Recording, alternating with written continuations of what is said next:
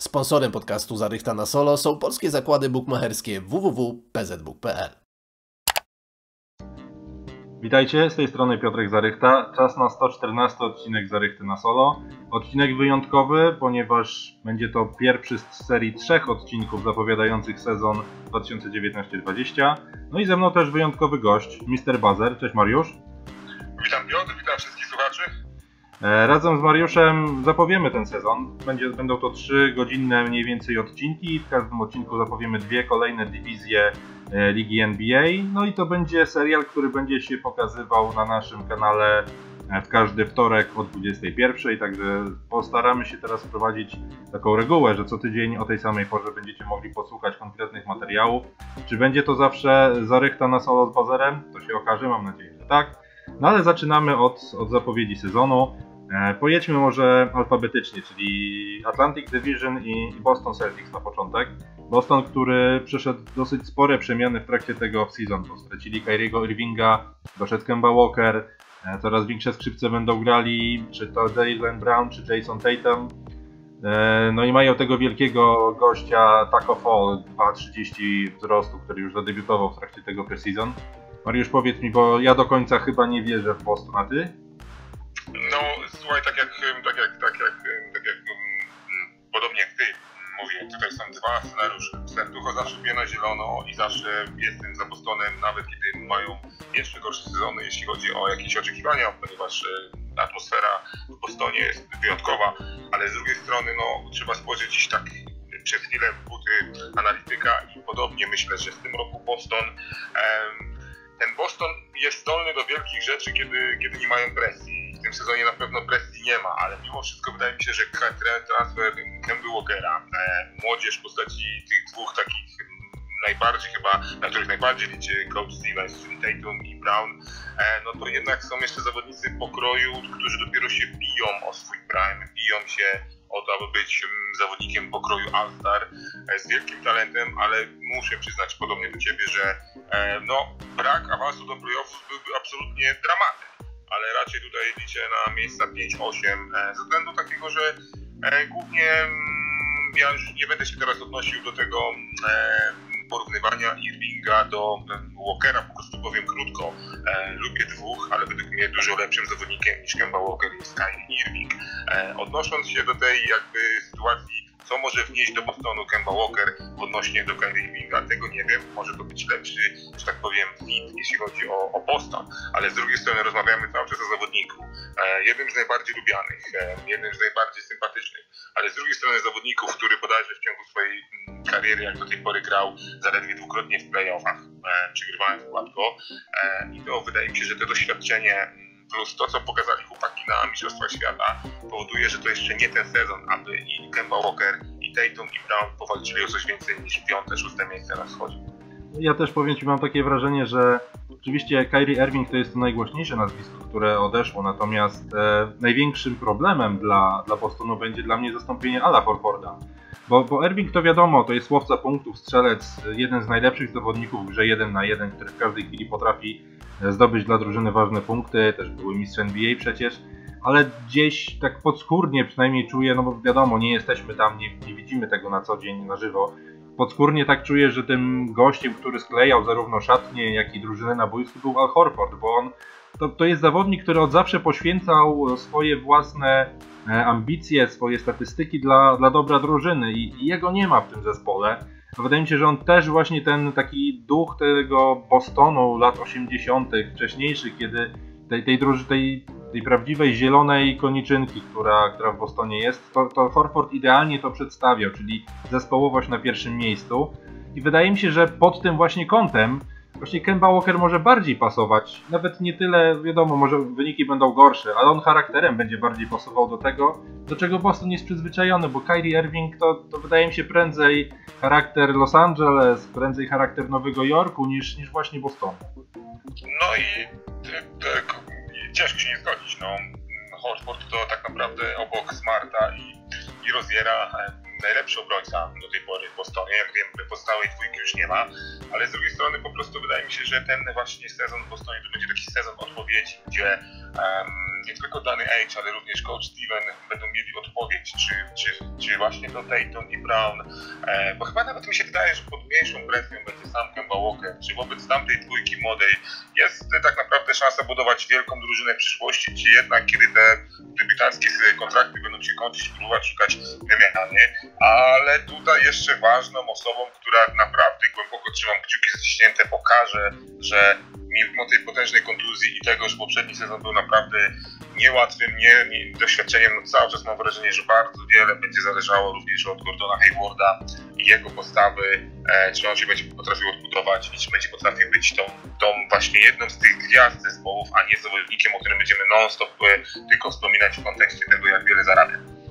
Wiesz, no, ja też na to liczę, tym bardziej patrząc na, na historię Paula George'a, bo powiedzmy gdzieś te kontuzje były podobne, tak? Paul George wtedy na tym zgrupowaniu reprezentacji, jak złamał nogę, Gordon Hayward też w pierwszym meczu sezonu e, przeciwko Cleveland Cavaliers, te, te gdzieś tam urazy były do siebie podobne i Paul George też jak wraca, to dopiero ten drugi sezon był już taki bardziej przypominający tego Paula George'a sprzed kontuzji i, i na to liczę też w przypadku Gordona Haywarda. Ty masz 100% rację z tym, że, że Hayward będzie tutaj kluczowy, bo, bo Tatum, Brown mam wrażenie już pokazali w poprzednim sezonie to, to na co ich stać.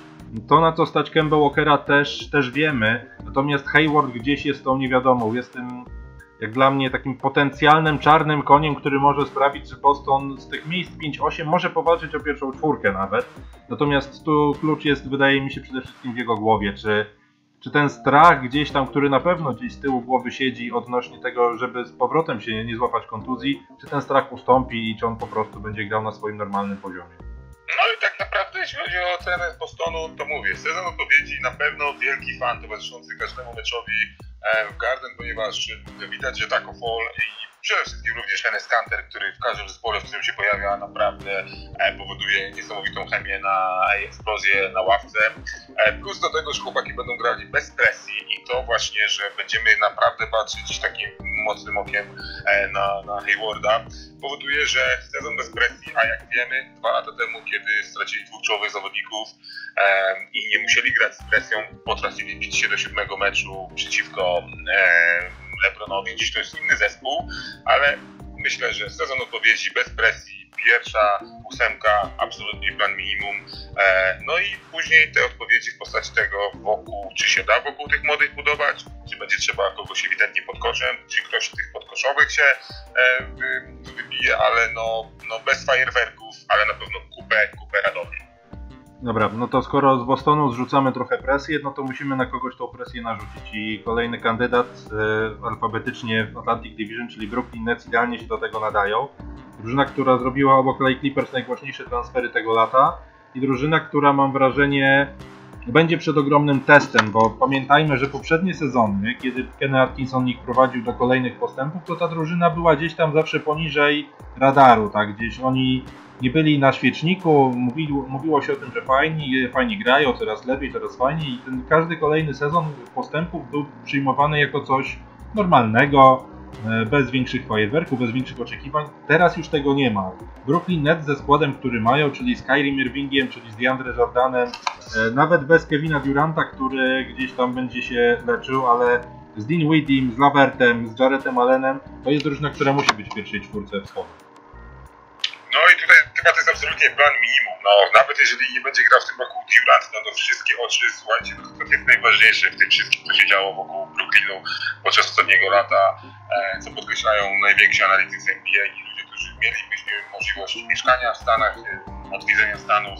E, no po wielu latach tam tak naprawdę no, Brooklyn przejmuje Nowy Jork, to już nie ma absolutnie żadnej dyskusji. Oczywiście dalej Madison Square Garden to nie to co, co Barclays, ale to i tak już jest zbyt tak, w jaki sposób postąpili e, zawodnicy, włodarze klubu z stawiając mimo wszystko na kontuzjowanego Duranta, który tak naprawdę za plecami się dogadał e, bez żadnego problemu z swoim kolegą powoduje, że to jest ich miasto i wszystkie oczy w Nowym Jorku będą skierowane na nich, cokolwiek, jakkolwiek, ktokolwiek z młodych nie eksploduje, e, czy Barrett na przykład w Nowym Jorku z, z Knicks, ale tutaj przede wszystkim utrata D'Angelo Russella, e, za którego tak naprawdę w tej chwili pierwszy skrzydce powinien grać Irving, ale to co wspomniałem, tutaj jest naprawdę jeszcze ogromny potencjał wśród zawodników, którzy nie są tymi dwoma największymi nazwiskami, ponieważ Durant, jak wiemy, jest za, no raczej nie by było bez sensu, gdyby zagrał, wracając za wcześnie i znowu, nie daj Boże, coś takiego by się przydarzyło,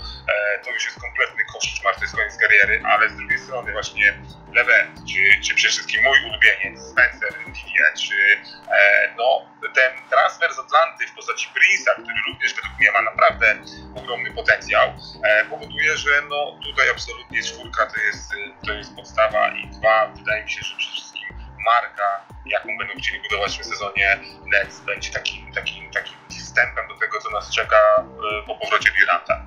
Właśnie tak mam wrażenie, tak jak dobrze wspomniałeś, Toriana Prince'a to są dwa takie transfery, które gdzieś przeszły bez echa. No bo wiadomo, przy, przy Jordanie, przy Irvingu, przy Durancie to gdzieś tam e, na pewno mniej się mówi, ale właśnie Torian Prince i Garrett Temple, czyli goście, którzy będą tylko zadaniowcami, tak? Oni będą mieli jakieś tam mniejsze role do spełnienia, ale tak jak Garrett Temple, on był chyba wybrany nawet ostatnio, albo rok jeszcze wcześniej, najlepszym e, kolegą z drużyny.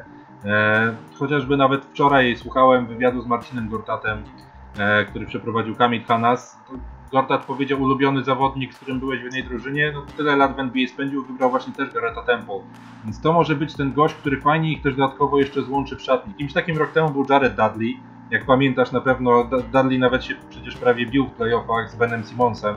Więc taki, taki glugaj w środku szatni jest, jest na pewno przydatny i to mogą być te dwa transfery, które gdzieś przeszły tak po cichu, e, a, a dużo też tej drużynie dadzą. No i mają paru też młodych graczy, którzy mam wrażenie mają szansę się jeszcze gdzieś wybić i ja mocno trzymam kciuki, bo gdzieś tam w tej NBA, która... No jest Kuruc, jest Kuruc, No właśnie, to chciałem powiedzieć. Nie znamy jego potencjału. Kuruc i Janan Musa, czyli dwóch gości z Europy, którym ja gdzieś tam kibicuję, bo to jest gdzieś tym Europ... tych Europejczyków najbardziej śledzę chyba teraz w NBA. I, i właśnie e, i właśnie to jest dla mnie klucz tutaj, który może być dla, dla nich e, do, do zrobienia kolejnego kroku. No i słuchaj, dodatkowo Kyrie Irving, który nie będzie musiał się właśnie mierzyć z presją, która mimo wszystko na niego spadła po bardzo udanym sezonie Bostonu bez jego obecności. E, I to, że tak naprawdę on jeszcze wie, że on nie musi w tym sezonie iść na mistrza, bądź no, na pewno będą walczyć o górną tabelę, ale, ale rozwój dodatkowo tych wszystkich koło zawodników i to, że już w tej chwili będą marką, która naprawdę, na której będą skierowane wszystkie oczy w Nowym Jorku, powoduje mi, że, że to będzie naprawdę wielki, fajny sezon, pozytywny. Oby ich ominęły ponieważ wiemy, że Ilevert jest po, po, po, po kontuzji stopy i wiemy, że Kyrie też już te kolana nie są takie, jakie były, ale, ale to będzie naprawdę sezon bardzo pozytywny e, i, i, fajnie, że Nowy Jork zaczyna po prostu poprzez Brooklyn. Brakuje mi tych nic z tych starych latów, ale no tak już tam poprzedni sezon powodował, że, że rośnie nam taka potężna marka w Nowym Jorku. No jeszcze na koniec ostatnie pytanie. Jak Ci się podoba ich ten nowy parkiet szary? No, bardzo mi się podoba. Fajnie, ja bym też tak chciał zobaczyć, bo to całe życie człowiek gra na, na żółtej klepce teraz coś takiego, no może być coś, coś ciekawego, fajnie, fajnie to wygląda, więc zobaczymy jak to się sprawdzi na dłuższą, na dłuższą metę. Dobra. Mm, kolejna drużyna, no to zostajemy w tym klimacie nowojorskim. Przejdźmy do, na drugą stronę rzeki, do, na Manhattan, do Madison Square Garden i powiedz mi, jak bardzo Knicks spieprzyli ten off-season. Znaczy, wydaje mi się, że chyba bardziej się nie dało, bo same, same nazwiska to jedno, e, ale słuchajcie, drugi sposób jest cały czas, y, ja nie wiem, czy to się da przekazać przez telefon i to jest na pewno temat na dłuższą rozmowę, ale znowu w skrócie, żebym się nie rozgadał. No, no, Nowy Jork, Madison Square Garden, New York Knicks to jest marka, która jest znana na całym świecie, to jest marka, która czeka już zbyt długo, to jest marka, która już jest pokazana naprawdę nieskończoność od wielu lat i to jest marka, która teoretycznie przez ostatnie lata dawała wszystkim do zrozumienia, że żaden, żadna inna organizacja nie jest przygotowana do tego off-season tak jak on. I tak naprawdę dodatkowo nie tylko za przeproszeniem, e, brzydko mówiąc, e, już nie wiem czy to mogę powiedzieć, ale e, nie, no, tak jak jest w, takiej pewnej komedii, chcieliście wydymać Freda, Fred wydymał was, to nie tylko nie ustrzelili żadnego wielkiego nazwiska, ale jeszcze pozwolili, żeby ich lokalny rywal, drużyna z jego miasta, z tego samego miasta, tak naprawdę skradła dwa potężne nazwiska, śmiejąc się niemal w twarz e, organizacji e, z Madison Square Garden. Dlatego wydaje mi się, że gorzej się nie dało, chociaż wiadomo, że znajdą się tacy i to też nie oszukujmy się, no jakiś tam ilość osób ocenia to, że no nie chcieli po raz kolejny zaryzykować i, i, i inwestować w tak ogromnego e, zawodnika, który na chwilę obecną jest kontuzjowany James Durant, ale zapomnieli o tym, że to Durant nawet kontuzjowany mi dawał pewność, że oprócz niego uda się zakontraktować drugą gwiazdę, co udało się dokładnie Nets, więc tutaj absolutnie, absolutnie no nie mam sobie, nie ma ani Bożykisa, nie ma ani, ani, ani Duranta. Mówiło się jeszcze o wielu innych nazwiskach w kontekście Nowego Jorku i oczywiście bardzo szanuję e, takich zawodników jak Landla, czy, czy uważam, że potencjał Barreta jest mega, ale no jeszcze jako fan Knicksów, ja to mówię wszystko jako fan Knicksów, liczyliśmy na Zajona, nie wyszło i naprawdę to ten pierwszy cios. Później e, w jaki sposób Nets skradli i ośmieszyli całe Knicks Nation w taki sposób, że mają dodatkowo jeszcze e, pamiętajmy DeAndre Jordana, który również przeniósł się ze względu, ja nie rozumiem jednego, jak będąc, pracując w klubie takim jak Nowy Jork, wiedząc, że najbliższym przyjacielem Duranta jest DeAndre Jordan, taki najbliższy z najbliższych, dodatkowo pozwala mu się odejść bez żadnego żalu, nie tylko z drużyny, ale jeszcze do rywala e, w tym samym miejscu. No, no dużo tego jest, żeby, żeby, żeby jakieś tam może żale swoją temat Nowego Jorku, ale po prostu z drugiej strony też jak e, całą tą pasję i miłość do koszykówki e, NBA ma. Wiesz co, powiem Ci, że... Czy ja- Barrett, czy to będzie Randall, czy to będzie ktokolwiek inny, e, na tyle się wypromuje, żeby zamknąć trochę usta nam wszystkim, którzy jednocześnie uwielbiają ten klub, cierpią i po prostu nerwy kruszają, ponieważ to jest w końcu NBA i ja uwierzę, że tam coś, coś się może jeszcze pięknego wydarzyć. Oczywiście nie nie licząc na playoff, no, ale może jakiś indywidualny zawodnik po prostu w postaci czy Barreta, czy Smitha Juniora pociągnie to na tyle, żeby nie było wstydu, ponieważ w zeszłym roku sposób, w jaki Knicks przegrywali mecze, po prostu to było naprawdę ciężko do oglądania. Powiem Ci tak, y, konkludując trochę, bo prawda jest taka, że o Knicksach ja też jestem gdzieś tam fanem tych y, byli dla mnie, była dla mnie zawsze druga ulubiona drużyna za dzieciaka po, po Chicago Jordana. Ta, drużyna z Ewingiem, z Oakleyem, z Masonem. Potem nawet ta ekipa ze Sprewellem i z Houstonem też super się ich oglądało. To też rzeczywiście boli teraz, ale mam wrażenie, że powód jest jeden i jest dosyć łatwy do określenia, tak jak w przypadku Phoenix Suns właściciel, który nie potrafi dobrać sobie ludzi, którzy będą tym zespołem kierowali. Czy to na ławce trenerskiej, czy to z fotela głównego menadżera drużyny, prezydenta klubu. Tu jest ewidentnie wiadomo, przynajmniej dla mnie, kto, kto jest temu winny. I tak jak w Phoenix będziemy mogli e, obwiniać tam właściciela, tak wydaje mi się, że w Knicksach tak samo możemy zrobić z ich, e, z ich właścicielem. Najbardziej boli, to już są jakby nie. To są niepowtarzające się, niepowtarzające się, niepowtarzające się jakby dramaty, które już od wielu lat ostatnio, ponieważ ja wszystko mam takie wrażenie, zaczęło się od, od, od, od, y, od Phila Jacksona, a już to naprawdę było kilka sezonów temu i po prostu no naprawdę bardziej zawsze będę wspominał. Jesteśmy przygotowani na ten off-season jak nigdy, a tak naprawdę dzisiaj chyba no, nikt gorzej z tego off-season em, nie wyszedł. No i jeszcze na ratunek ten, ten Randall, chociaż no ja akurat tego zawodnika e, nie ukrywam, że Bareta e, bardzo, bardzo lubię i mi się wydaje, że stronność Bare- Bareta e, jest jeszcze Kevin Knox, który też według mnie w zeszłym roku e, powinien bić się już o, o, o jednego z lepszych debiutantów. No tam, tam jest, tam tam jest jeszcze Robinson, który też potrafi naprawdę wiele w, w trumnie. No mam nadzieję, że po prostu em, no, mimo braku playoffów, chociaż to jest NBA, no po prostu mam nadzieję, że te młode chłopaki pokażą, że walczą, że oni już teraz już nie będzie tankowania o jak najwyższe miejsce e, później w drafcie, tylko po prostu, że oni będą chcieli zmazać, pokazać na parkiecie, że e, być Knicksem to jest coś dla nich wielkiego i po prostu e, żeby znowu zaczęło, zacz, za- żebyśmy zaczęli po prostu szanować bardziej barwy, ponieważ to wiele lat, wiele lat naprawdę już strasznie posługuje. Dobra, to żeby trochę optymizmu teraz było, zmieńmy Knicksów na kolejną drużynę, czyli Philadelphia 76ers. E, mówię od razu optymizmu z tego względu, że po pierwsze kibicuję każdej drużynie, która ma u siebie klasycznego centra, bądź prawie klasycznego centra, bo Prawda jest taka, że Embiid dzięki temu, że tak świetnie gra przodem do kosza, rzuca za trzy punkty, nie jest klasycznym centrem i w NBA już chyba nie ma klasycznych centrów, ale gdzieś tam e, to zamiłowanie do grania właśnie z wysokim gościem, do, do tego, żeby oprzeć na nim e, całą strategię ofensywną, e, sprawia, że ja na tą Filadelfię patrzę przychylnym okiem. A ruchy, które oni zrobili w trakcie lata, to prawda stracili Jimmy'ego Butlera, co jest ogromnym na pewno problemem dla nich, ale w zamian za to wypełnili tą lukę Joshem Richardsonem, wypełnili tę lukę Alem Horfordem, będą grali znowu bardzo wysoko, czyli jest odwrócenie trendu, który, który przez ostatnie lata w NBA górował, czyli granie jak najniższym składem, jak najszybszym składem.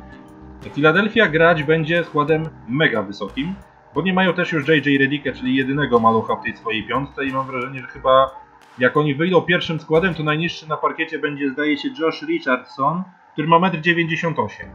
Więc to, to na pewno będzie fajnie, jak dla mnie przynajmniej, oglądać zupełnie inne podejście do koszykówki i liczę na to, sorry wiem, że jesteś fanem Toronto Raptors, że Philadelphia się zrewanżuje w pierwszej rundzie z Toronto, pyknie ich, e, a w, i że dojdzie do finału konferencji i tam zobaczymy epickie 7 meczów z Bucksami. Znaczy powiem Ci szczerze, że tutaj podpisuję się się znowu, jeśli chodzi o, o serducho to coś innego, ale jeśli chodzi o to jak byśmy, jak już tak nie miałbym udawać wielkiego analityka NBA, no to tutaj ewidentnie również stawiam, że w tym roku mm, finał konferencji na wschodzie.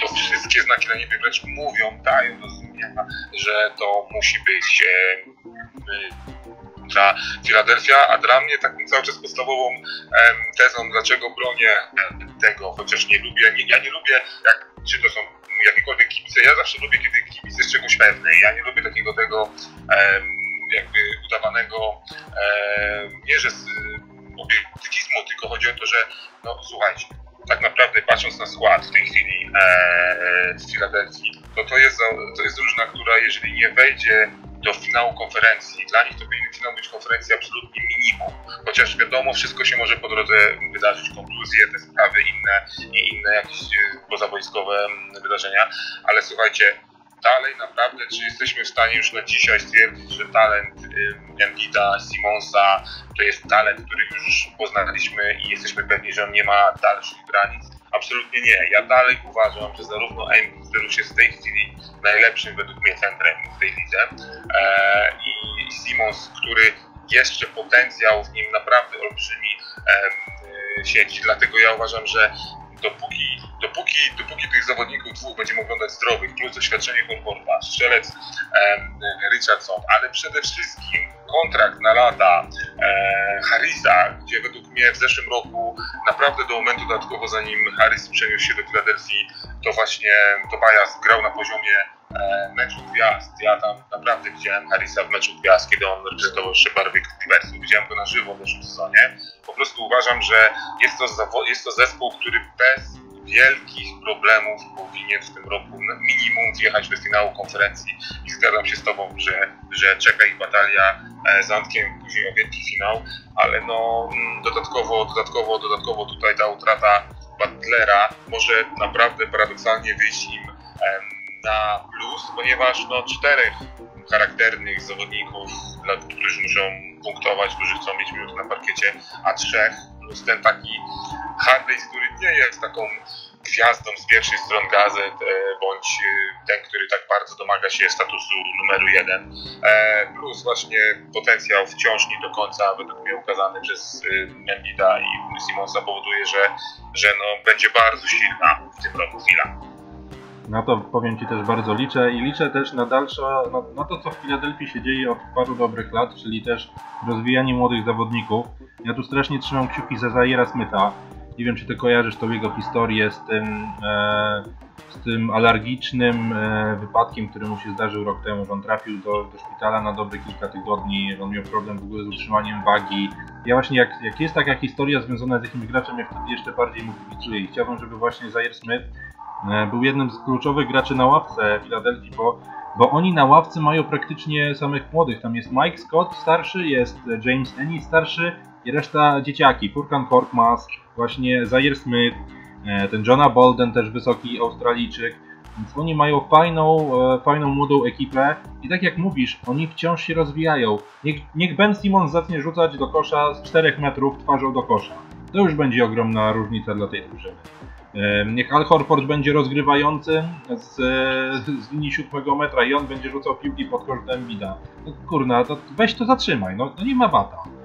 No nie, no tutaj słuchaj, tutaj absolutnie mówię, dla mnie cały czas Benek jest gościem, który naprawdę jeszcze jest może nie wiem, 60% tego co on potrafi albo co wniesie do NBA. E, I dodatkowo tutaj, tak jak powiedziałeś, e, te historie młodych, chociaż akurat przejdziemy do omawiając Orlando, no ale tutaj akurat y, Fulz jest takim e, zawodnikiem, któremu ja po tym jak już tak naprawdę bez skrupułów oddano go do Orlando życzę jak lepiej, ale tutaj jedyną, jedyną taką ryskę na tym wszystkim pozytywnym scenariuszu, jakim widzę w Filadelfii, to jest podobnie trochę jak Houston Rockets dla mnie pozycja trenera. Ja nie jestem do końca przekonany do coacha e, za Brauna i, i, i, i jestem przekonany, że zarówno dla niego, jak i dla e, Antoniego to będzie również wielki sprawdzian, ponieważ e, nie, nie zawsze byłem, jestem bardziej za wschodem niż za zachodem, ale no mimo tylko łatwiejszy to może nie być, nie było i może nie być przez najbliższe lata, dlatego jeżeli Philadelphia polegnie na poziomie nawet finału konferencji po siedmiu meczach, nie wiem z kim, e, to według mnie to będzie absolutnie porażka. Minimum dla mnie tutaj e, to jest finał konferencji z Walką. No dobra, przechodzimy dalej. E, ostatnia drużyna z Atlantic Division to jest obrońca tytułu mistrzowskiego, który chyba możemy spokojnie to powiedzieć, mistrzowskiego tytułu nie obroni, czyli Toronto Raptors. Drużyna, którą, o której usłyszałem od Ciebie, jak pierwszy raz gadaliśmy, że to jest Twoja drużyna i Ty im najbardziej kibicujesz. No i powiedz mi w takim razie, bo, bo Ty też pisałeś zapowiedź e, sezonu Toronto Raptors do, do czwartego numeru Magic Basketball do Skarbu Pana. Jesteś mimo wszystko optymistą, jeśli chodzi o ten zespół? Znaczy w tym momencie tak naprawdę najchętniej bym się rozłączył i poczekał aż znaczy to ciężko mi zachować obiektywizm, a na poważnie niech będzie, spróbuję. E, przede wszystkim e, powiem Ci tak, Piotr, no to jest taki sezon, w którym my jako tam Raptors, e, przede wszystkim Toronto niewiele musi. No nie oszukujmy się, utrata najlepszego zawodnika poprzedniego sezonu, e, nie wiem, tytuł MVP, ale przykroju również playoffs, plus to mm, zespół nie był wśród faworytów do tytułu. Roku powoduje, że ten sezon to jest sezon, gdzie absolutnie nie mamy zamiaru siedzieć w ogonie, tylko bić się o najwyższe cele, ale przede wszystkim wszystko jest kwestia tego, jaki plan, jaki etap przebudowy bądź kontynuacji na ten sezon wybierze coach Nurse, ponieważ jeżeli będzie się skupiał na podniesieniu e, umiejętności e, młodszego pokolenia typu Odzi albo e, no to ten sezon będzie może troszkę mniej, jeśli chodzi o co możemy osiągnąć. No wiadomo, że ciężko się zgodzić z twoją, z twoją, z twoją odpowiedzią, że absolutnie no tutaj no bicie się o mistrza to będzie tylko jakby taki to będzie tylko takie można powiedzieć hasło, no, które ma podkręcać atmosferę, ale, ale dalej potencjał Toronto i obecnego wschodu E, nie tylko dlatego, że jestem fanem Toronto, e, powoduje, że doświadczenie poprzednich playoffs, e, to jaki potencjał drzemie w Kameruńczyku właśnie z numerem 30 i to w jaki sposób oni pokazują siłę zespołową, bo przede wszystkim zostaje Laury zostaje kolejny rok, został Gasol, jest młodzież, jest przede wszystkim świetny coach, jest najlepszy generalny menadżer tej lidze, e, wydaje mi się pewnie jakiś ruchy, które już w połowie powodują, że jestem przekonany, że Raptors będzie biło mimo wszystko o pierwszą czwórkę niż o, o miejsca Powiem Ci, że ja jednej rzeczy się spodziewam w tym sezonie, że oni zaczną rzeczywiście ten sezon tym składem, jaki, jaki jest i jeśli miałbym stawiać, kto będzie na liście transferowej e, w okolicach właśnie lutego i tego okienka zamykającego wymiany, to albo Mark Gasol, albo Serge Ibaka. Z tego względu, że obaj są w ostatnim roku kontraktu, obaj mają te kontrakty ponad 20 baniek i może się ktoś pochylić e, z tych albo z drużyn walczących o mistrzostwo, albo z drużyn, które chcą wyczyścić sobie salary cap na, na kolejne lato. I tutaj ktoś może się pochylić, czy to właśnie po, po Gasola, czy po Ibakę. Byłoby to bardzo smutne, jak dla mnie, dla, i dla jednego, i dla drugiego zawodnika, żeby trafili do kogoś, kto tylko ich weźmie po to, żeby zejść później z salaryka, bo, no bo to są gości, którym po prostu należy się walka o najwyższe tytuły. E, a ja powiem Ci, że jestem bardzo ciekawy przede wszystkim tego, co zrobi Oji bo e, Siakam już w poprzednim sezonie pokazał, jaki ma potencjał, jak daleko może pójść, natomiast Anunobi gdzieś zniknął. On stracił minuty w rotacji przez przyjście Kałaja. E, wiadomo, miał znowu problemy ze zdrowiem, tak jak jeszcze na uczelni. Ja tutaj bym upatrywał, tak jak, tak jak patrząc na Orlando Magic widzę ogromny potencjał w Jonathanie Isaacu, tak tutaj mam wrażenie, Oji Anunobi jest tym gościem, który będzie mógł e, stanowić taką podstawę, taki fundament na lata Raptors obok, obok Siakama. No i tutaj oczywiście z tą zgadzam. Dla wielu z nas tak naprawdę to wciąż liczymy na eksplozję tego potencjału, ponieważ wiesz, wiem, wielu z nas uważa od, od dawna, że to jest jeszcze większy potencjał e, niż, niż jest zgromadzony w Pascalu. Ale dodatkowo jeszcze nawiążę tego, co powiedziałeś na temat Gasola i Baki. Ja wciąż wierzę, muszę wierzyć jako fan, muszę zostać optymistyczny, że się zweryfikuje to, że właśnie dlatego, że ten zespół jest prowadzony przez najlepszego, e, jednego z najlepszych menadżerów w historii tej gry i gościa, który wczoraj właśnie dał ukłon Lauremu, podpisując przedłużenie kontraktu do 2000 E, 31. E, jestem przekonany, że za ten pomnik e, w postaci mistrzostwa z poprzedniego sezonu ten zespół bardziej liczy na to, że dogra w tym, w tym, w tym, w tym, w tym sezonie, jeśli chodzi o te największe gwiazdy bądź tych najlepszych zawodników, którzy tak bardzo przyczynili się do tego tytułu, ale przede wszystkim no, też bardzo liczę przede wszystkim oprócz tego, co o Jaya, co wymieniłeś Pascala, no jeszcze liczę na tego, który w ogromnym, już nie mówiąc o tym, że sercem mózgiem zawsze będzie Laury w tym zespole, to jest gość, który zawsze daje pierwszy sygnał do ataku, bez niego nie byłoby niczego, ale jeszcze naprawdę głęboko życzę i wierzę, bo aby i zarobił w późniejszych latach i aby właśnie przejął po Laurym i żeby został z nami na zawsze, czyli przede wszystkim Fred Van ponieważ jestem przekonany, że w 80 albo 75% ten zawodnik w każdej innej drużynie NBA miał oprócz tych największych na swojej pozycji typu Simmons, Westbrook bądź e, Chris Paul, on naprawdę miał szansę wychodzić w pierwszej piątce jako podstawowy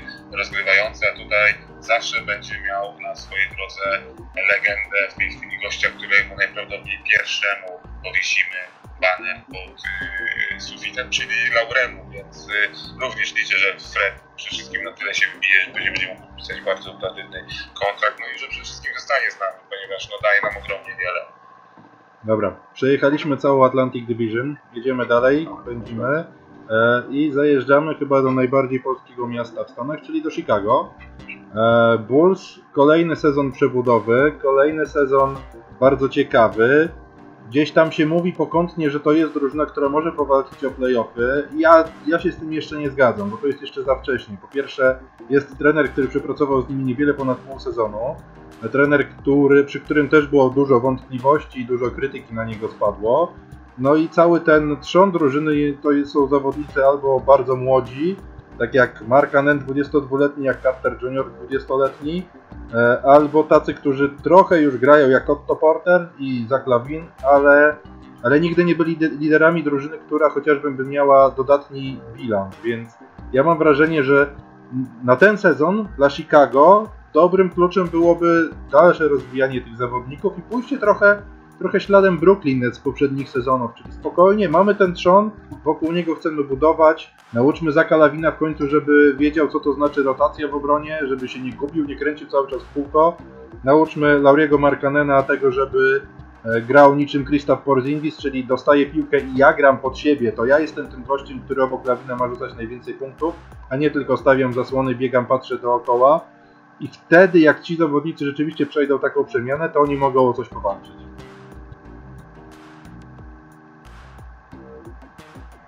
Mariusz? Halo? No, jestem, jestem Piotr. Powiem Ci szczerze, że jeśli chodzi o Chicago Bulls, to jest jeden z tych zespołów, które najbardziej ciężko mi rozgryźć już nie nawet na progu nowego sezonu, ale poprzedniego. Ponieważ teraz spojrząc na transfery dokonane w tym roku, to bardzo solidny obrońca i taki zawsze zdrowy walczak w postaci Tadeusa Younga Spacer, tak? Doszedł dodatkowo no, jeden z tych, który chyba zrobił największe zamieszanie na e, niejednym mundialu, czyli Tomasz Satorański. Dodatkowo jest ten Otto Porter, który rozpocznie w tym, w tym, w tym, w tym momencie e, sezon e, już właśnie po tych transferach jeśli chodzi o, o Waszyngton. I tutaj ja naprawdę mam takie wrażenie, że to jest już naprawdę wystarczająca ilość talentu na obecną sytuację na wschodzie, mieć pewność, że Chicago będzie przy pierwszej szóstce, a z drugiej strony bardzo ciężko mi się zgodzić z Twoimi słowami, że to jest dalej drużyna, która może mieć wielki problem, aby mieć dodatni bilans, nawet w obecnej sytuacji wschodu. No ja jestem wielkim fanem Lauriego, uważam, że jest to jeden z najfajniejszych odpowiedników, e, najbardziej wszechstronnych, jako fanatyk Dirka bardzo szanuję jego e, wypowiedzi, że on może być lepszy niż ja. E, I po prostu poklикam na to, że podobnie jak na zeszłym roku podniesie się z tych takich druzgocących porażek, kiedy bardzo często ich mecze można było przestać oglądać po pierwszej połowie. No dobra, to teraz powiedz mi, bo ja jednej rzeczy nie jestem w stanie zrozumieć, jeśli chodzi o budowanie składu przez Chicago. Zresztą przez ostatnie lata już oni już nie raz i nie dwa dali e, to, ten duet John Paxson, Gar Forman dali e, konkretne tam twarde orzechy do zgryzienia, jeśli chodzi o zrozumienie pewnych decyzji.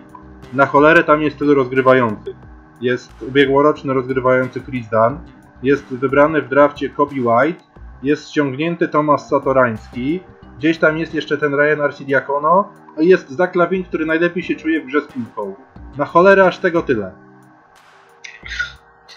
No, właśnie całe, to jest właśnie całe, to jest właśnie całe, całe Chicago w ostatnich latach, podobnie jak Knicks, więc no tutaj no, ciężko mi znaleźć łatwe odpowiedzi na to, na to pytanie. Wydaje mi się, że ten mecz numer siódmy e, zmusił ich mimo wszystko trochę do tego potencjału e, White'a w momencie, kiedy, kiedy kilka nazwisk, które byli zainteresowani, poszli, poszli wcześniej. Ale przede wszystkim, no, widząc właśnie Dana, e, ja nie jestem wielkim fanem Latina, jeśli chodzi o jego potencjał, jakiego Uważam, że to jest taki zawodnik naprawdę, który hierarchii powinien być na, na pozycji numer 3, gdzie ma tam jakiegoś wielkiego gwiazdora obok siebie, który może kierować. Uwielbiam jego, jego, jego styl, uwielbiam jego, jego to, uwielbiam to, że on walczy mimo wszystko do ostatnich sekund, jeśli chodzi o, próbuje wziąć na siebie em, na barki właśnie tą, tą decydujące sekundy, ale nie uważam, że to zawodnik, wokół którego budować się jak Chicago Bulls i, i właśnie jeszcze dodatkowo mając tylu rozgrywających koło, jak pogodzić właśnie to, kiedy każdy chce mieć, być przy piłce, no i dodatkowo, no, już miałem że potencjał em, Cartera Juniora już będzie wykorzystany dużo bardziej w zeszłym e, roku, a teraz jeszcze przyjście Younga powoduje mi, że ten zawodnik może delikatnie stanąć, no, nie rozwijać się na tyle, jak, na jaki ma potencjał, ponieważ ja byłem jego wielkim fanem, kiedy wchodził Rokem No zobaczymy. Najlepszy, najlepszy obrońca w tego zespołu. Nie no, to zdecydowanie. No. Oczywiście gdzieś tam kontuzja go zatrzymała. Chociaż wydaje mi się, że on mimo tej kontuzji mógł zagrać końcówkę, ale chcieli przytankować o wyższy pik, więc już go odpuścili. No mają paru fajnych zawodników, bo ja jeszcze jestem fanem gościa z 15, Chandlera Hutchisona, który mi przypomina trochę w ruchach Scottiego Pippena, no ale oczywiście przypominanie w ruchach to jedno, a umiejętności na boisku to drugie, więc zobaczymy, czy, czy chłopak się rozwinie. Na, na dzisiaj... ja, mam taką, ja mam taką prostą tezę, że jeżeli Mark, Laurie Marker przejmie pozycję lidera, udowodni swój niesamowity potencjał, a wiemy, że nim taki jest, przybrał na masie, przybrał na tkance mięśniowej, dodatkowo ma wszystko, co powinien mieć zawodnik na jego pozycji e, i właśnie jego współpraca, która tak naprawdę przez kontuzję w zeszłym sezonie nie mogliśmy oglądać na tyle z granitem. E, do tego te doświadczenie byłych zawodników e, Washingtonu, e, no to naprawdę uważam, że jeżeli w tym sezonie Chicago nie będzie walczyło się o, o, o bilans dodatni, no to by trzeba było tam powoli też e, naprawdę podejść w taki sposób, że no, ogromne, ogromne zmiany i ściągnięcie jakiegoś wielkiego nazwiska, ponieważ e, no też ostatnie kilka lat to jest bardzo ciężko do Bardzo często gra Dobra, przejdźmy, przejdźmy dalej. Niestety kolejna drużyna w Central Division to też nie będzie za dużo optymizmu, bo, bo Cleveland Cavaliers bez, bez LeBrona Jamesa to, to mam wrażenie drużyna nie do końca z NBA. E, no, jak sumować te wszystkie sezony, odkąd LeBron James przyszedł do NBA i wyłączyć te 4 lata, kiedy, które spędził w Miami i ten rok teraz, który spędził w Los Angeles, to ja nie wiem, czy z tych 5 lat uzbierałoby się 100 zwycięstw dla, dla Cleveland. Mam wrażenie, że to będzie kolejny sezon spędzony na dnie tabeli, będą mocno o to znoszorować. E, podpisali przecież rok temu kontrakt z Kevinem Love'em na 4 lata jeszcze 120 baniek. Ja mam wrażenie, że to, co będzie najwięcej emocji przynosiło z Cleveland w tym sezonie, to plotki, gdzie Kevin Love trafi w trakcie tego sezonu i komu będzie pomagał w playoffach. Nic innego tam ciekawego nie widzę. Jest tych dwóch młodych, czyli Colin Sexton i Darius Garland, ale jakoś tak nie jestem przekonany, żeby, żeby tam w tym sezonie działo się coś naprawdę ciekawego. Znaczy tutaj właśnie jedyną ciekawostką, oprócz tego właśnie co powiedziałeś, że Kevin pewnie będzie brany pod uwagę z wielu transferowych, no to właśnie taki jedyna nie, nie, e, niewiadoma to będzie to podobnie co powiedziałeś e, o Chicago na cholerę imprez rozgrywających, no to tutaj ruch podczas ostatniego draftu e, kawalerii też jest lekko zaskakujący, ponieważ mając już naprawdę ogrom, ogromny potencjał i przede wszystkim fajny charakter, ponieważ ja uwielbiam charakter Colina Sextona jeszcze z czasów NCAA.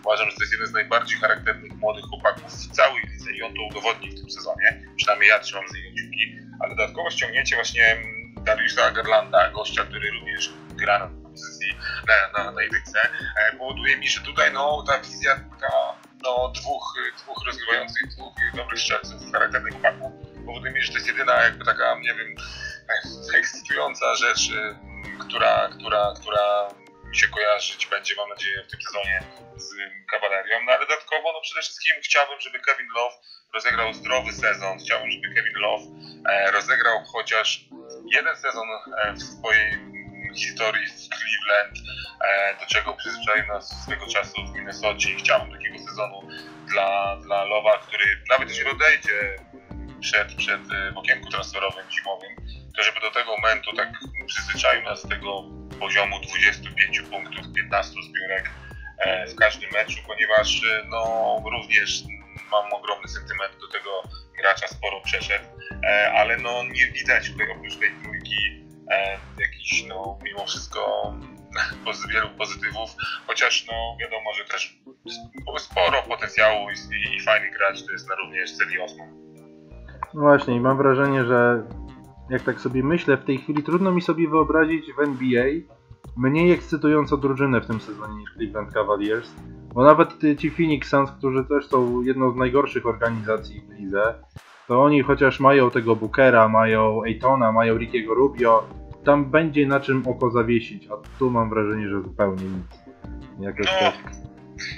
się nie zgodzić. No ja bym jeszcze bardziej, może właśnie też jak Phoenixa bardziej bym że patrząc na właśnie rotację Nowych, Nowego Jorku, no to właśnie mam takie wrażenie, że, że tutaj oprócz, oprócz Randla i potencjalnie ogromnego potencjału e, Bareta, no to mają tego lowa. No i teraz ja głęboko wierzę, że taki sezon, jeżeli zdrowy low wygląda świetnie, jeśli tam gdzieś tam śledzę jego konto na Instagramie, jeśli chodzi o jego, jego budowę, fizyczność, przygotowanie do tego sezonu wygląda świetnie. No po prostu taki low na poziomie 30 punktów zbierany przez młodych y, zawodników Sextona czy, czy, czy Garlanda, no to mam nadzieję, że przynajmniej, ja zawsze powtarzam, można przegrywać, tylko ja już bym chciał naprawdę skończyć od tego, że się kupić po pierwszych 10 meczach niektóre drużyny po prostu naprawdę wyłapują często bez walki, aby od razu bić się o jak najwyższy numer w drafcie. No nie, nie jestem fanem tankowania, dlatego mam nadzieję, że tutaj nie będzie takiego dosłownego tankowania.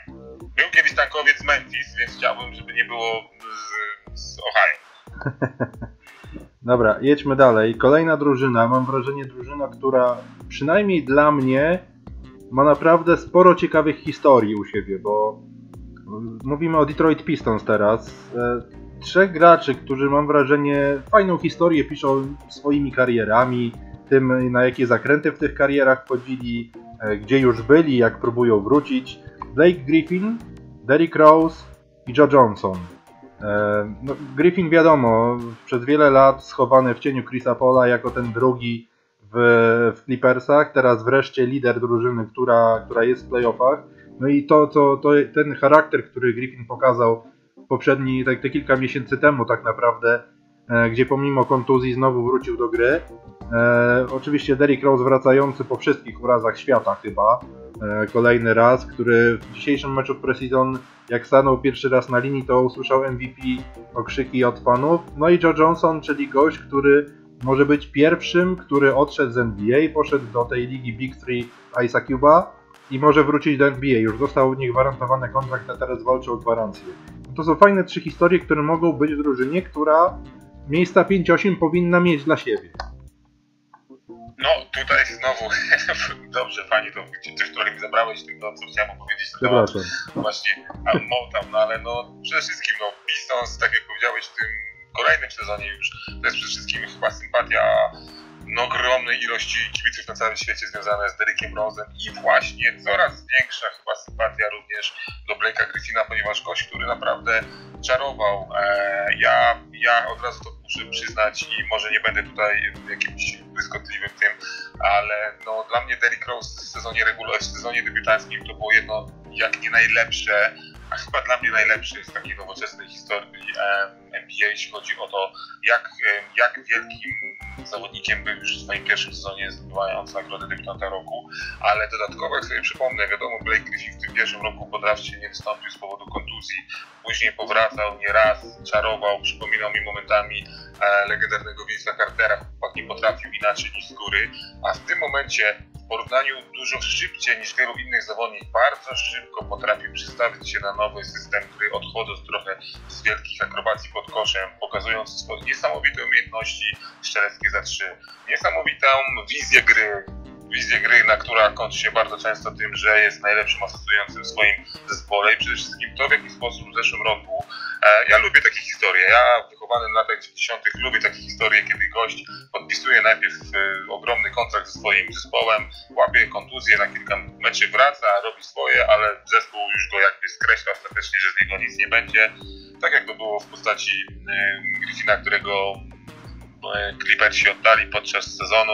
W zeszłym roku, nie wiem czy pamiętasz ten moment, kiedy Griffin wraca na parkiet Clippersu, zdobywa z tego co pamiętam 42 punkty, wychodzi szef Baumer e, Clippersu, spróbuje z nim przybić pionę, a on tak przebiega, przebiega obok niego, absolutnie go e, nie, nie, nie udając, że go nie widzi, bo biegnie do szatni, a później właśnie w tym meczu wygry, zdobywa 42 punkty, nokautując e, Clippersów. Było, Do było. tego ogromna bestia, o której też nie wspomniałeś, że lubisz ludzi na pozycji centrów, czyli taki drewniak, ten Dramont, ale ja dalej lubię gości, którzy zbierają po 20 piłek w jednym, nie wiem, może to jest mój uraz ze względu na e, Yahoo Fantazy, ale ja lubię gości, którzy zbierają po 20 piłek w jednym, w jednym meczu i po prostu jak głęboko liczę, że ta marka tłoków, a wczoraj ci powiem szczerze, biłem się e, na eBayu o taką koszulkę 20-letnią e, z Benem e, Wallace'em, taką karykaturą jego prasowanką, gdzie,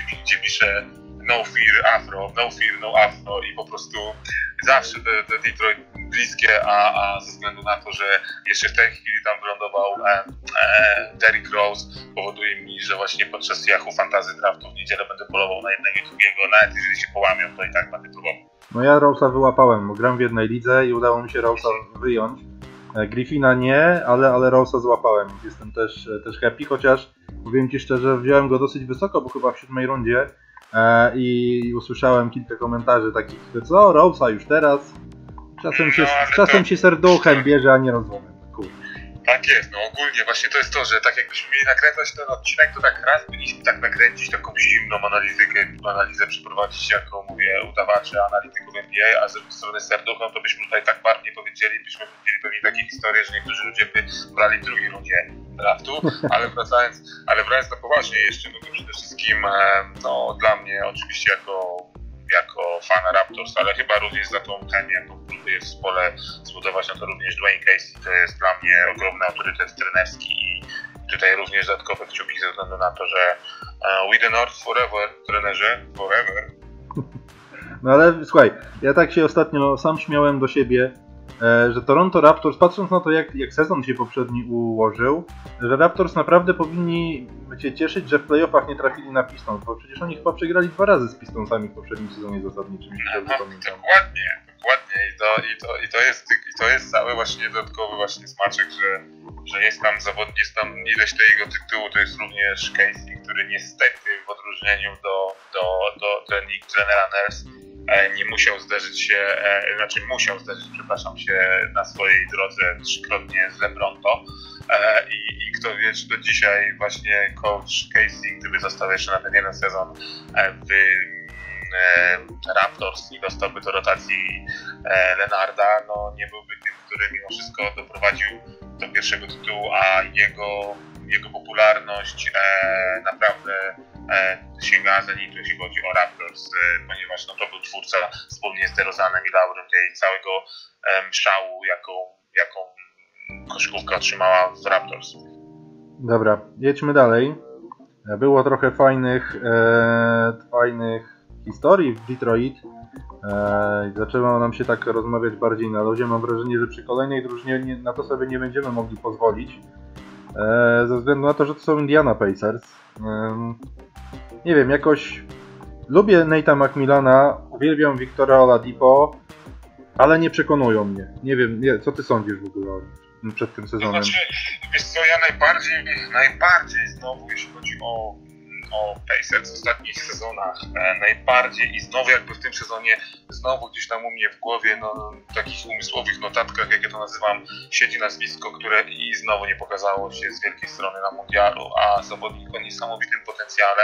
Kiedyś nawiążę do niego, jak będę mówił, będziemy oceniać Lakers i Antony Davisa, nie porównując tylko niego, tylko wtedy wytłumaczę w jakim aspekcie, czyli Miles Turner. Słuchaj, to jest gość, który naprawdę w większości meczach, szczególnie na wschodzie, powinien być spokojnie 30 punktów, 15 zbiórek i 5 bloków, a jest naprawdę człowiekiem, który nie potrafi przekuć tej, tej dominacji, na którą w kadrze, ani wtedy, kiedy wokół niego biegali czy Grecy, czy przypuśćmy em, e, Czesi, czy tam ktokolwiek.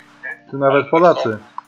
Tak, nawet Polacy, ale dodatkowo, no przede wszystkim wydaje mi się, że tutaj, mimo że przyszedł bardzo ciekawy zawodnik i wydaje mi się jeden z zawodników, który, który, który może na koniec sezonu być wymieniany w kategorii jednego, który zrobił największy postęp, czyli DJ Warren. Uważam, że jest to chłopaczek, który jeszcze już pokazał w meczu sezonowym, że naprawdę on jest, on jest, on jest, on jest człowiekiem, który ma, ma E, ale przede wszystkim utrata jednak białego Jordana momentami z ostatnich lat, e, czyli e, Bogdanowicza, tak?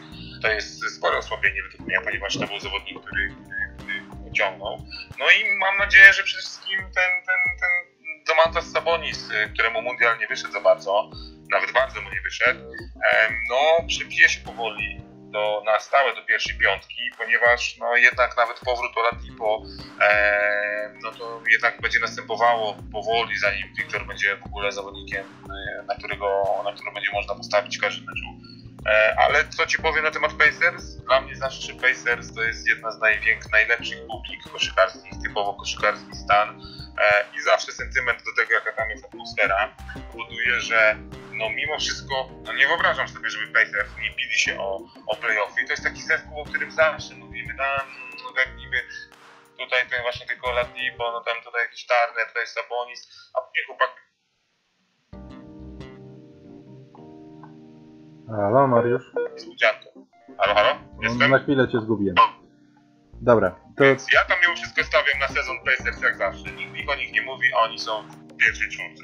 No okay. Znaczy przynajmniej walczą o pierwszą Ja jeszcze tutaj patrzę na ten skład, to, to nadzieję w moje serce wlewa Malcolm Brogdon, czyli gość, który dwa no, lata temu był debiutantem roku w barwach, e, w barwach e, Milwaukee Bucks. I on też ten pierwszy mecz, oczywiście wiadomo, preseason to preseason i tam nie można za, za daleko idących wniosków z tego wyciągać, ale on się pokazał naprawdę dobrej strony w, tym mecz, w tych meczach z Sacramento Kings. I takie mam wrażenie na koniec, taki wniosek, może apel. Połączmy odwagę, serce do gry i w ogóle całe nastawienie do Mantasa Sabonisa z ciałem Milesa Turnera. Jakby te dwie rzeczy ze sobą połączyć, to byśmy mieli naprawdę kozak gracza. No i tak, widzisz, tu mnie akurat um, znokautowałeś, bo ja zapomniałem kompletnie o Brogdonie przez sekundę, a według mnie jest to jeden z tych zawodników wśród młodych o najwyższym IQ koszykarskim w całym, tak. jestem jego, jestem jego ogromnym fanem i uważam, że to jest potężne osłabienie, jeśli chodzi o Milwaukee Bucks. Ale tutaj właśnie dodatkowo, tak jak powiedzieliśmy, nikt o nich nie mówi, kiedy spojrzysz na nazwiska, mówisz, powiesz sobie, mmm, ale jak mimo wszystko, to są takie to są zawodnicy, tacy profesjonaliści, że właśnie no, nie ma Boganowicza, ale jest, jest, jest, jest obrazujący pewnie Wiktor. Jest, jest nie będą nigdy kozakami z pierwszych stron gazet, ale mają ogromny potencjał do tego. Dalej jestem przekonany, że jak zawsze bardziej się będzie biła o pierwszą czwórkę e, Indiana albo tam piąte, szóste pewne miejsce, gwarantujące udział w playoff już na miesiąc przed, niż widziałbym ich poza pierwszą ósemką, ponieważ no, no tak jak mówisz, jest tam te, jest ten, ten który no, mam nadzieję również, że to będzie eksplozja, ponieważ bardzo cenię sobie tego zawodnika. Dobra, ostatnia drużyna na dzisiaj, Milwaukee Bucks. Nie wiem, już trochę w gardle e, sucho, więc e, a teraz będziemy sobie łamali, łamali języki na Janisie i na Tanasisie, czyli na braciach Antetokumpo, na braciach Lopezach e, i paru jeszcze innych zawodnikach. Czy dla Ciebie to jest już drużyna na, na finał NBA? Bo tak powiem Ci, spojrzałem sobie na, na bookmacherów, jak obstawiają i oni ze wschodu mają najniższe stawki, mm, przy których można wygrać mistrzostwo. Więc teoretycznie, z punktu widzenia jakichś tam matematycznych wyliczeń bookmacherów, Milwaukee Bucks są najlepsi. Tak jest? Znaczy u mnie tutaj ja będę bronił, mu się podoba, ponieważ ja jestem zawsze za niespodziankami. Powtórzę to samo, co mówili, jeśli chodzi na poziomie, e, kiedy omawialiśmy Sixers. Absolutnie faworyt do tytułu Króla Wschodu to jest albo Milwaukee, albo Philadelphia. Każdy inny scenariusz, który w tym sezonie nie będzie obejmował e, finału konferencji e, między tymi dwoma drużynami, będę uważał, że jest to ich porażka. A która drużyna z tych dwóch drużyn wejdzie do wielkiego finału, to już wydaje mi się pokażą po prostu nie tylko sezon regularny, ale playoffy. Ale jak nie wielki finał, to dla mnie absolutnie minimalnym planem ze względu na potencjał, głód gry i na to, w jaki sposób e, już jest nagrodzony nagrodą MVP Janis z zeszłego sezonu powoduje, że tutaj po prostu każdy inny scenariusz byłby jakimś chyba katastrofą dla tego zespołu, chociaż akurat fajnie, że w ostatnim sekundzie dopiero co omawialiśmy y, Indianę, uważam, że jest to potencjalnie słabsza drużyna dla mnie niż była rok temu poprzez utratę właśnie e, Brogdona. E, I tutaj po prostu tylko i wyłącznie potencjał i, i dominacja Antka, czy on jeszcze bardziej będzie potrafił. Ja nie wiem, czy można bardziej, ale no, zawsze można. Czy on będzie po prostu jeszcze bardziej potrafił e, tą drużynę udowodnić, tą dominację, gdzie pamiętajmy, oni oni byli dwa małe kroczki od wielkiego finału, przegrywając, wyłapując liścia w pierwszej rundzie od Bostonu, później tak naprawdę przebiegając się po Bostonie. E, później po Bostonie, przypomnij mi, e, na półfinale konferencji. Nie, oni w półfinale grali z Bostonem. Oni w pierwszej rundzie przejechali się po Detroit 4 do 0. Przepraszam, po Detroit się przejechali, później pierwszy mecz przegrali, prawda? Później cztery łatwe e, zwycięstwa i później tak naprawdę 2-0 z, z Raptors i nagle e, absolutna, absolutna dramat, jeśli chodzi o cztery kolejne mecze, no, popis całego Raptors, powoduje mi, że no, głęboko wierzę, że Janis na pewno nie bierze żadnego innego planu pod uwagę, ale osobiście uważam, że nawet kiedy mamy w składzie teraz właśnie drugiego Janisa, czy braci Huberów, wydaje mi się, że jest to kadrowo odrobinę słabsza drużyna niż była rok temu, ale minimum finał konferencji. Ja bym jeszcze na miejscu generalnego menadżera próbował coś w trakcie sezonu zrobić z Erikiem Bledsoe. Z tego względu, że ja mam wrażenie, to jest główny hamulcowy tej drużyny. I tak jak e, masz rację, że strata Brogdona będzie ogromna, bo też te, te poprzednie playoffy i końcówka sezonu zasadniczego pokazała, jak, jak dużo Brogdon dawał tej drużynie, jak dużo nowych możliwości, innego sposobu rozegrania. Tak mam wrażenie, Bledsoe stałym szacunkiem do tego gościa, stał sympatią do jego atletyzmu, jego skoczności eksplozywności. To mam wrażenie, że on gdzieś jego koszykarski IQ, tak to ładnie nazwijmy, nie powala. I, I tutaj wydaje mi się, że Bledsoe może być jednym z tych hamulcowych drużyny, który chociażby właśnie ze względu na, te, na to, że czasem potrafi się zapętlić w pewnych rzeczach. Pamiętasz dwa lata temu playoffy z Bostonem przegrane 4-3 w pierwszej rundzie i kiedy zjadł go tak naprawdę Terry Rozier w pierwszej rundzie. Gdzieś ta głowa Erika Bledsoe mam wrażenie szwankuje i do Janisa, do, do Chrisa Middletona, który nie jest ty, typem gościa, który może dominować mecz, e, to, to gdzieś ten Bledsoe mi nie pasuje. Brakuje mi rzeczywiście, tak jak mówisz, Brogdona, brakuje mi jeszcze lepszych zawodników trochę. Lubię George'a Hilla, lubię Ersona Idiasowe, ale to nie są goście na drużynę kalibru mistrzowskiego, więc tak jak, tak jak rok temu chyba GM Buck został wybrany najlepszym GM-em ligi e, w tym oficjalnym głosowaniu, tak mam wrażenie, że, że w tym roku Oczywiście wiadomo, Bucksom nie jest tak łatwo, bo to drużyna z niezbyt atrakcyjnego rynku, ale mam wrażenie, że mimo wszystko czegoś nie zrobili. Tak jak ty mówisz, że mają trochę gorszy skład niż rok temu, to ja się z tobą muszę zgodzić. No, mimo wszystko potencjał, jeśli chodzi na ławkę trener- trenerskiej, to jest wciąż ogromny autorytet i tutaj tak naprawdę jest kwestia tego, jaką wizję nakręci właśnie Mike Badenholzer, ale, ale no, wracając jeszcze do, do, do tego, co powiedziałeś, no przede wszystkim tą kluczową postacią, która może zapewnić wielki finał e, Milwaukee i ta, która będzie, którą, którą, od której najwięcej zależy, to jest dokładnie właśnie osoba e, małego Lebrona, e, czyli zawodnika, który miał niesamowite, świetny sezon, bo nie oszukujmy się, jeśli chodzi o sezon regularny, poprzedni sezon, e, no to był świetny w wykonaniu Erika Bledsoe. On bardzo często, nie Janis, w końcówkach meczy decydował o, o końcowym wyniku, ale po raz kolejny spalił się w playoffach, jak wielu zawodników, którzy po prostu na poziomie playoffów nie potrafią udźwignąć tego ciężaru, nie, pogra, nie potrafią grać na tym samym poziomie co w sezonie regularnym i tak naprawdę chyba to jest chyba cała, całe pozwolenie.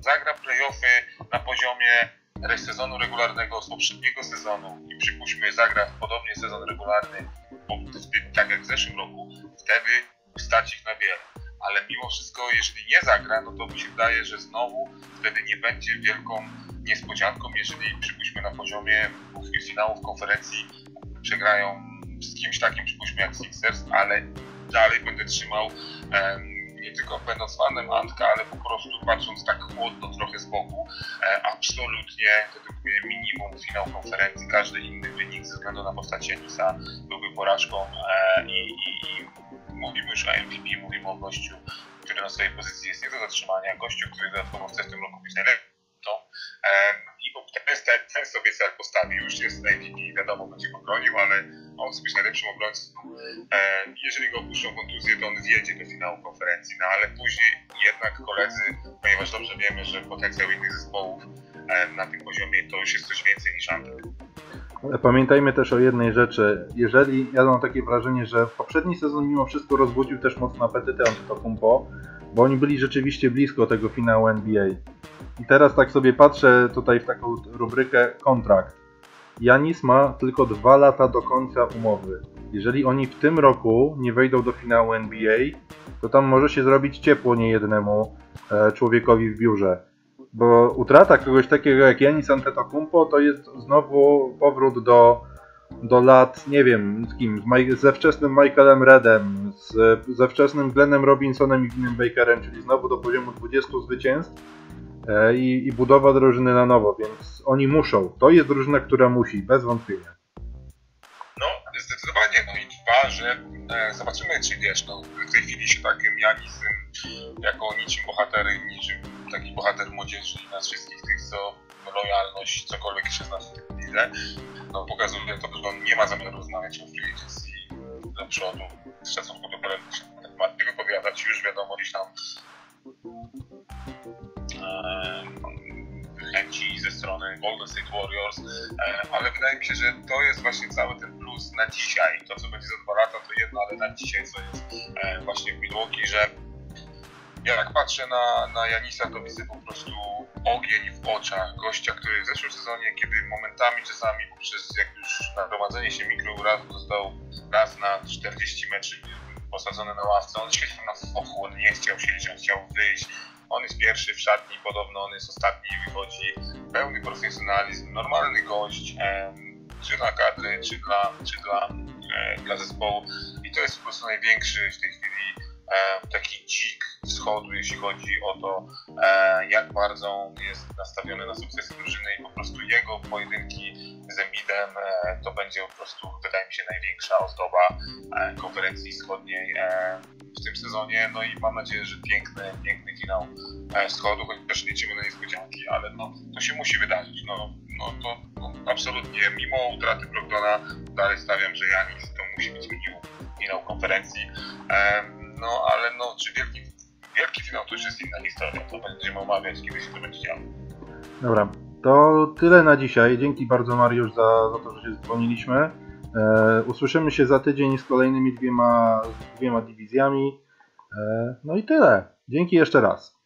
Ja również wszystkim dziękuję. Słuchajcie, wybaczcie czasami może za słowotok, ale no tak to jest, jak się, jak się to kocha, więc y, do usłyszenia następnym razem. Do usłyszenia. Sponsorem podcastu Zarychta na Solo były polskie zakłady bukmacherskie www.pzbook.pl.